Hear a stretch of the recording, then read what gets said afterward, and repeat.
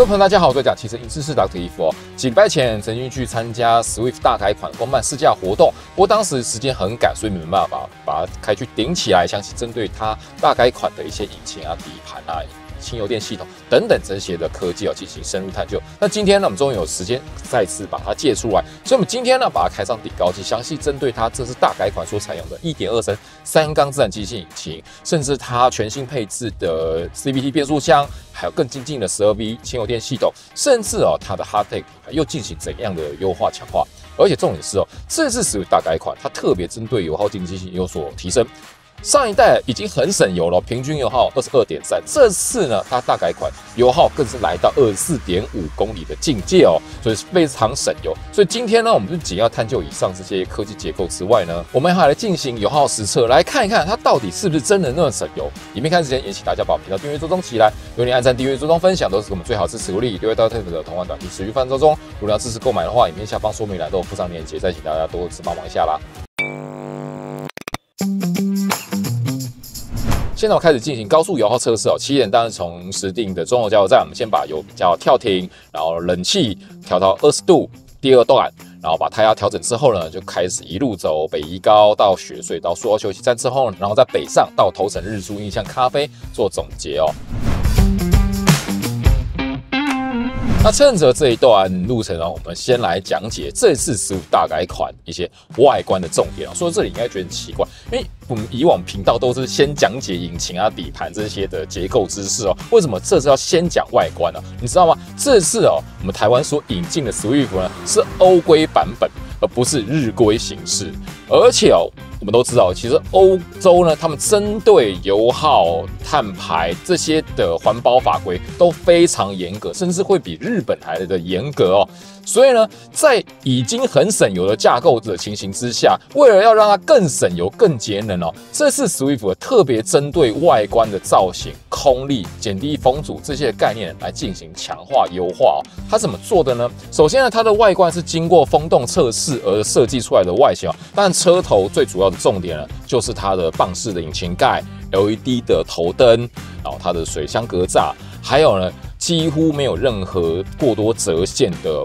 保险杆哦，而且保险杆上面还没有雾灯，而这就是呢欧规才这样的配置。为什么要这样设计呢？因为有雾灯的话呢，可能会影响到你的风阻系数，而且。就像前面所说，它特别针对风阻系数进行调整的。另外，它也针对轮圈造型啊进行优化，所以你会发现它的轮圈造型跟电车其实是蛮像的。它可以尽可能减少这些空洞的一些面积，所以让你在行驶的时候呢，减少气流跑到里面来增加油耗的可能性。它的轮胎呢也采用可以降低滚动阻力高达十五趴的经济节能胎哦，所以让它的行驶阻力可以更少、更省油。而且哦，它车尾的设计呢，同样也是经过空力的设计，所以你会发现它不仅有尾翼，尾翼两侧呢有侧面的尾翼，减少气流到后面呢的乱流，让它的风阻系数变高。而且它的后保杆造型也非常光滑。那当然，LED 的灯组也是新的形式。而且我们刚在顶底盘时有发现啊，在它的引擎下方大面积的下护板之外，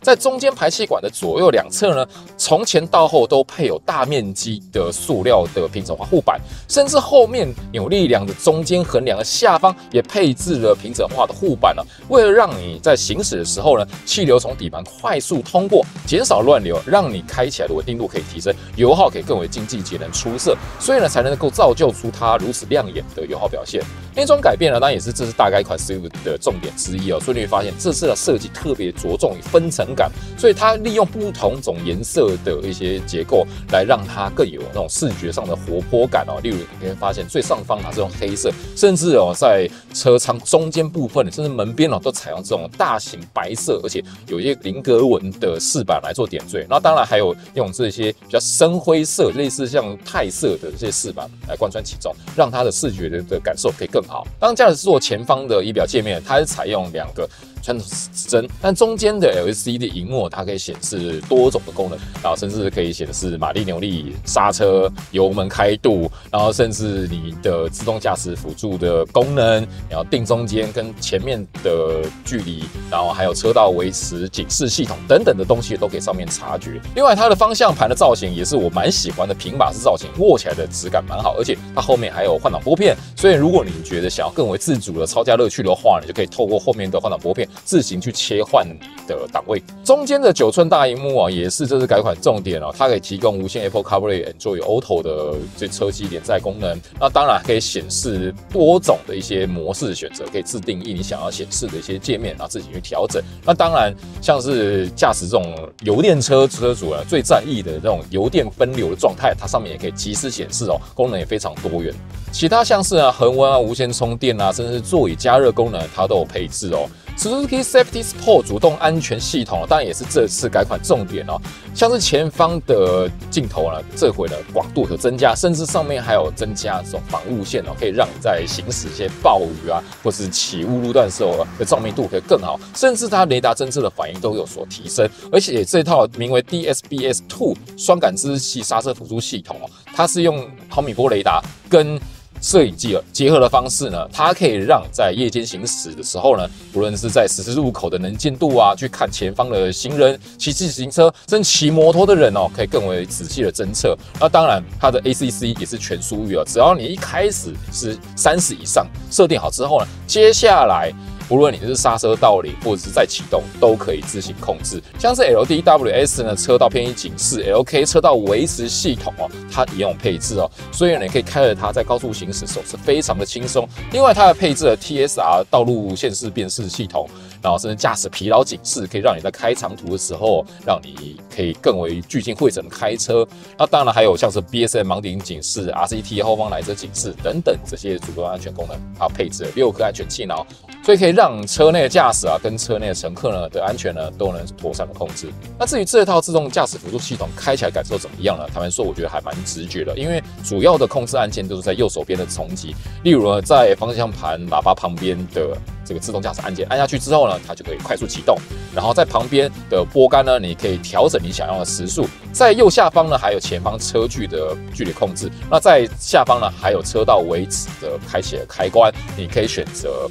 帮你盯中间，或你自己维持都可以。而且我觉得这套主动安全系统的作动反应也算是不错，因为像是 ACC 哦，例如前面有车突然插进来的减速，或是车子突然离开的加速，我觉得它反应也还算是柔畅。而且我觉得它的车道维持的表现也算是不错。例如呢，前面呢有些微高速弯呢，它还是可以依循着转向的角度呢，让你定在中间。除非前面的角度很大，它才会需要你啊自己去维持方向盘了。当然，我们在使用这种主动驾驶安全辅助系统时候呢，建议双手还是握着方向盘，这样子才比较妥当。那它的空间表现怎么样啊？在我一百八十一公分的身高，然后在前面调整好我驾驶坐姿之后呢，我进后面乘坐之后呢，膝部大概还有一个拳头左右的空间，头部大概一掌再多一。点点的空间啦，啊，好在。它中间的果岭没有到很高，而且它的座椅中间是完全平整，所以有时候呢，你后面呢去塞入三名乘客，我想都还算是够用。那至于后面行李箱空间啊，基本上就两百六十五公升，以小车来说也算是不错，而且它的后座也可以往前倾倒，倾倒之后呢，就可以获得五百七十九公升的容积了，所以可以扩充你想要载更多东西的使用的需求。引擎当然也是这次大改款的重点之一哦。你会发现它排气量一样是一九七 CC，但是呢，它从原本四缸变成三缸。要知道少了一缸的，比如说缸头，然后活塞、连杆、曲轴、缸壁等等这些的硬体结构之下呢，其实它重量是减轻蛮多。但是哦，在少了一缸的情形之下，要让你排气量跟以前一样哦。能够做的事情呢，就是加长你的曲轴行程了。所以从刚性冲程来看呢，原本是七十三乘以七一点五，它是短冲程的设计，这回呢就变成七十四乘以九二点八的设计了。而且也因为长冲程的关系，它的压缩比可以高达十三点九，很明显它就是为了让让它的油耗表现更为出色。虽然它的引擎动力哦比上一代少了一批，但是它扭力依旧维持十一公斤米的设定哦，而且。长冲程的引擎的扭力反应也比较好，所以它开起来的反应其实是比上一代更为轻松。这个引擎啊，除了本体结构改变啊，像是缸头改变也变蛮多，例如它把进气道啊来进行修改，可以增强它的进气效果以及滚流的效果，让你的燃烧的速度给更快。当然还有具备 VVT 可变气门正时的技术哦。而且它可以模拟阿特金酸循环的设定哦，让膨胀比大于压缩比，让你的油耗可以更为节能出色。另外，也因为它十三比九高压缩比了，所以呢，在如此高温情形之下，它缸头也设计了水道，让它在燃烧室的温度呢能妥善控制。那至于缸体结构哦，也因为它的压缩比很高，所以当然它的活塞呢的内部也有设有油道，可以降低温度。另外，在节能环保表现呢，它呢一样配置了 EG 啊水冷式废气回收系统，所以它可以把没有燃烧完的油。气，然后倒回来，然后冷却方式呢，把它降温，然后再倒回进行吸管，让它重新利用，可以降低有毒物质的排放，也可以降低燃烧室的温度。那当然，现今很多欧洲车已经开始采用的 OPF，它不仅有采用，而且它也采用更新形式的跟触媒段整合。所以当我们打开引擎盖的时候，往下看过去，你会发现它的头段的触媒下方呢，就是它的 OPF，它可以利用触媒的高温。加快把 OPF 里面碳粒把它烧掉，这样子呢就可以让它排放可以更为通顺了。另外针对这三缸引擎可能产生的抖动哦，它特别针对引擎角的材质来进行改换，它可以采用这三个质量，也就是自正块的方式呢，来让它的接点变多，减少它的震动。然后甚至在低档踩刹车的时候呢，它也会强制让离合器片呢，让它切离，让减少这震动传入车内的可能性，让你行驶质量的更好。所以上一代已经采用了十二 V 轻油电系统，当然这次大改款也继续采用，只不过比起上一代的动力哦，这一回它。已经把它的马达出力从二点六匹、三点六公斤米的输出变成三点零八匹扭力的六点一一公斤米的设定啊，所以呢，它可以在极低速在起步的时候，它可以额外提供一些力量呢，让你辅助加速。当然，在时速更高的实行之下呢，它就没办法再处理，因为毕竟它不像是四八 V，甚至像是纯粹油电车的马达有如此有力。不过呢，这一套的十二 V 轻油电系统哦，它还是不脱原本的介油架构，所以当我们打开引擎盖的时候，你会发现它的发电机比较大个，但是它一样具备启动马达，而且它的电池是在驾驶座下方是十安培小时哦。但整套十二 V 轻油电系统的重量还不到七公斤，对于车重的增加可说是微乎其微。另外，其实蛮多人常在问我说，这种十二 V 或者四八 V 轻油电系统的车子呢，它在熄火状态，冷气还是可以继续吹哦？当然是否定的哦。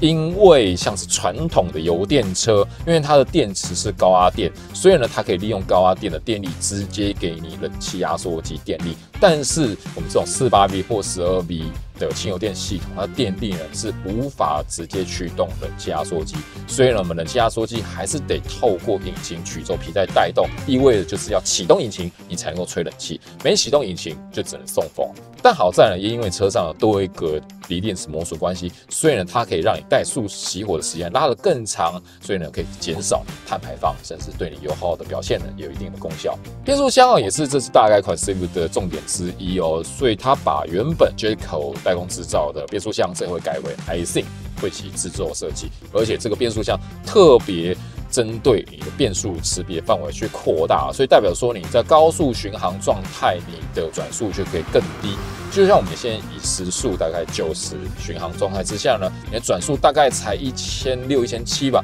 就算时速是一百，你转速其实还不到两千了，所以呢就可以更低的转速，让你油耗表现可以更为出色。而且哦，它还可以模拟七档，而且具备自动锁定功能，所以你在高速运转之下的动力传输可以更为直接。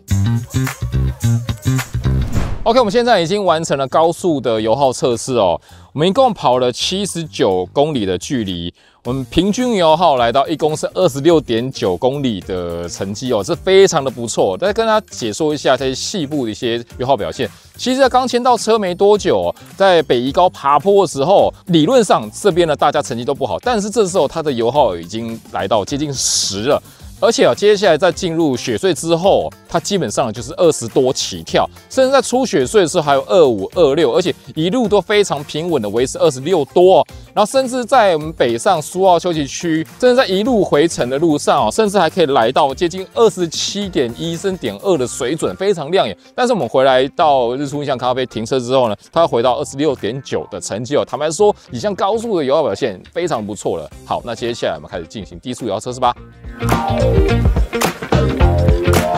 OK，我们现在来进行低速油耗测试哦。起点就是从日出印象咖啡开始，一路爬坡走北移到平林之后，再接一零六乙到石定加油站之后呢，再加油做总结哦。而在测试这段路程呢，跟大家分享一下关于它一些底盘平台，甚至我们在顶车的时候发生一些事情哦。首先，这是 Swift 大改款啊，它的底盘平台依旧维持原本的 Hardtag 的底盘架构。这个底盘架构特别针对刚性啊去补强哦。其实你如果有试驾过关于采用的 Hardtag 底盘的斯威车款呢，就这样感受。而且它也特别针对车身刚性进行强化。所以从原厂公布一些透视图来看，你会发现呢在 A 柱、B 柱、车顶左右两端、中间横梁、整个侧面的挡火墙的左右两端，然后从前到后的侧裙的结构，甚至前方的钢梁。都是采用这个超高性钢材来做搭配组合。那至于刚性再次一级的高张力的钢板呢，它是在原本这些高刚性的钢材里面呢，再为第二层的阻隔。然后当然在一些中间肚子地方左右两端呢，也有这样的配置哦。而且从原厂提供的底盘结构图来看，你会发现它特别强调那种底盘的大梁的平顺度。所以如果你今天遭受到撞击的时候呢，这个从底部传递的力量可以由前到后的直接传递。它会减少之间的接点哦，所以即便我们在顶底盘的时候发现了，它这个底盘的龙骨结构呢，也是非常的顺畅哦，可以说是一气呵成的延续，它并不会出现一些断点，因为你知道有断点的时候，就代表说力就会卡在这边，然后可能如今天你撞击力道比较强的话呢，它可能造成底盘碎裂，然后甚至造成车内乘客安全影响到可能性。所以这一次思路大概呢，特别针对行驶质感进行优化，所以当我们打开引擎盖的时候，你会发现啊，它在在避震塔的周围，甚至前方的左右的钢梁结构，都遍布了非常多的结构胶。虽然它可以提供一定程度的这些钢材跟钢材、板件跟板件之间的结合性，而且可以达到一定程度的吸震的表现。那大概一款 Swift 的底盘长什么样呢？当我们把下护板给拆除之后，你会发现它的副车架体积呢，当然以小车来说，它并不会做到非常巨大，但是厚度却是有的，所以可以提供一定程度的底盘的刚性表现。而且它的三脚架体积以小车来说，我其实我觉得偏大。它是单片材质冲压制成，而且仰角呢也是钢铁材质结构设计。那至于在副车架前端的右手边呢，那就是它配置的 Z 十二一的引擎的油底壳哦，也是铝合金制成。啊，油芯呢也是金属材质设计，而且从上方的角落你可以看到，它还是有配置启动马达了。左手边跟它结合就是它配置的爱信的变速箱，而且它体积的其实来说算是大，而且它具备大型的油底壳，而且前方有冷却机构，所以在激烈驾驶的温控的表现呢，当然也会更为出色了。为了强化它的侧倾抑制的表现啊，其实这次大改款的时候，它不仅把它的防倾杆加粗，而且在防倾杆支臂，也是离合枪跟防倾杆结合的地方呢，它还去装了铁氟龙的垫片哦，所以让它作动起来可以更为滑顺。那它的后面悬吊结构当然还是扭力梁的形式设计哦。但是这一回呢，它特别针对它的避震器行程去加长，因为加长行程其实可以让你后面的悬吊的贴地性变得比较好，更为稳定哦。但是它还是针对避震器的释放角度呢去调整了，就发现它弹簧筒身的位置是稍微向后倾斜，而且位置也算是接近，所以一定程度让你车尾跟进性变得比较好。而且就如前面所说，它这回呢特别针对底盘平整化去强化，所以。中间的大型横梁的下方呢，它有配置平整化护板，而且哦，也为了提升行驶质感，你会发现哦，像是它备胎框的下缘呢，也是涂布了大量的隔音漆材哦，可以行驶在砂石烂路的时候呢，可以减少到噼里啪啦碎石传到车内扰人声响。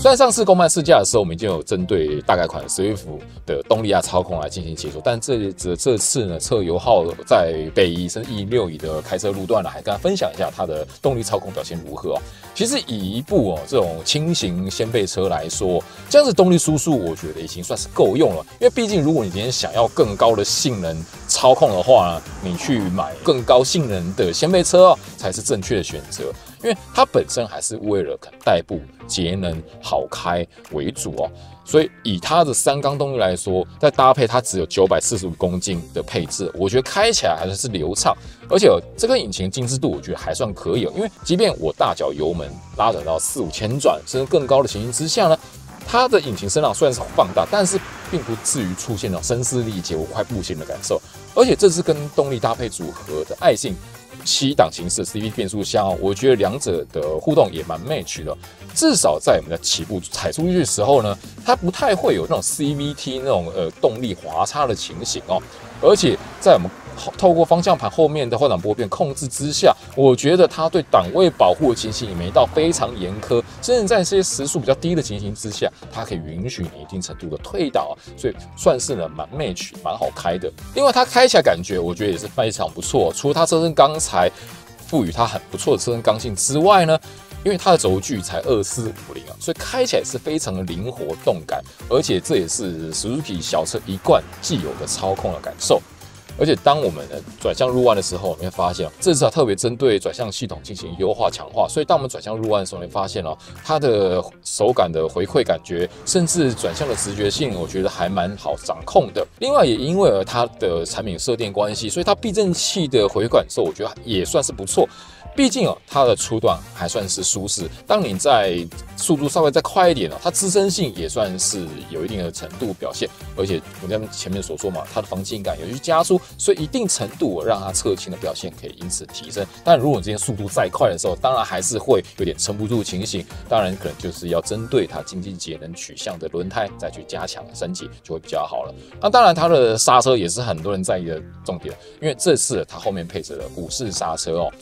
其实以刹车效能来说，我觉得还算是够用，因为毕竟它已经采用上一代 Swiss Sport 的布品哦，所以呢，对于回馈直觉性非常的直接，而且重点是哦，这次采用鼓刹，很多人可能觉得哦，可能是成本考量，你知道吗？其实后面采用鼓刹是对于节能省有一定的帮助哦。因为以刹车形式来看，碟刹哦，当我们踩下刹车的时候，我们会透过卡钳里面的活塞，然后去推动来鳞片，来鳞片会跟碟盘来进行结合，来产生制动性能。但是这时我们松开刹车的时候呢，活塞退回去了，但是呢，来鳞片其实不会跟着退回去。你要退回去的时候，是必须透过你，你再起步、再加速的时候，你碟盘转动会把你的来鳞片给推回去。而这样子，你频繁的刹车，甚至你停在走这种情形之下，你这个来鳞片结合再推开这情形之下，其实对于油耗跟电耗其实都会有所影响。所以呢，为了求取更救急的油耗表现，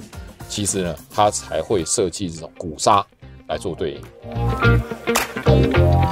OK，我们现在已经结束低速油耗测试，而且已经回到实定加油站，然后把油加到跳停，然后来做个总结。在跟大家解说总成绩之前呢，我们先来说一下它的低速油耗以及表现哦。它的低速呢，一共行驶了四十九公里的距离，平均油耗仪表显示是二十二点六公里的成绩哦，其实也算是蛮亮眼。那跟大家解说一下这一些低速油耗测试一些路段的油耗成绩。首先我们在北一一连串上坡的情形之下，当然油耗很差。当然到最高点茶叶蛋的地方呢，平均油耗一公升十四点五，其实坦白说也算是蛮厉害的。接下来在一连串的长下坡或起起伏伏的爬坡路段，然后再到平陵的时候呢，油耗已经来到一公升二十二点八公里的成绩哦，也很厉害喽。不过接下来一零六乙的一连串上坡嘛，当然这时候它油耗数据呢就一路往下滑，而且。最后到一零六以最上端的时候呢，它的油耗降到十八点七，也很厉害啊。好，最终总成绩来了，我们总计呢高速跟低速跑了一百二十八公里的距离。我们刚刚把油加到跳停，我们加了五点四八九公升的容积，所以代表说呢，我们实际的平均油耗是二十三点三一公里耶。这个成绩。虽然比起能源局公布二四点五稍微点距离，但是二三点多的成绩，其实跟我油电比的其实算是相差不多哎。你可以看到这个十二 V 轻油电的掀背车，竟然可以跟我那个纯粹油电车的成绩打得旗鼓相当，我觉得是蛮厉害的。所以你会发现哦，这次是有大改款哦。它特别针对油耗部分呢进行补强，例如它换了全新的1.2三缸的引擎，变速箱也做出匹配。重点是哦，它还针对整体的空力来进行优化，例如前面的保险杆、轮圈、轮胎、尾翼、平整化的下护板、底盘，甚至后轮的鼓刹等那种东西呢，尽可能用好用满哦。或许你会说啊。这些小东西对油耗有什么影响？你要知道哦，或许你今天只改一个两个，它的对你的油耗可能一公升多跑个零点几公里，甚至零点零几公里。但是你要看到，Swift 它这次改款是从引擎、变速箱、底盘整个车体空力套件的强化的情形之下，在很多个零点几甚至零点零几的里程加起来的时候，就是实质的几公里的距离的成绩哦。而且为什么 Swift 要做如此繁多的油耗的手术呢？因为我们都知道油耗测试跟车重很有关系，你越轻的车，你的油耗的标准就越严格，所以它更需要透过如此繁复多元的节能的手段，让它车子可以符合环保的规范。以上就 data factory 针对四位大改款进行了油耗测试报道希望您会喜欢我们下次影片见。